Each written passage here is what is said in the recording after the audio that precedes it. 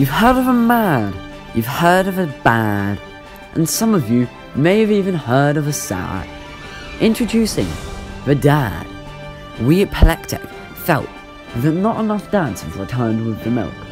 And also, the bad falls off later once you get off a good defense. Therefore, we have trained the bad up by making it carry tons and tons of milk. Therefore, it deals 10 times more health once you leak it, has 500 more RBE to pop, and has the speed of a DDT.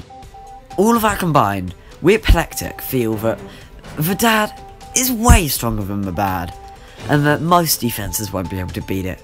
The only way to beat it would be with sad. Check the latest video for that. Also, just a quick little disclaimer your real dad won't reappear when you get one of these. Sorry.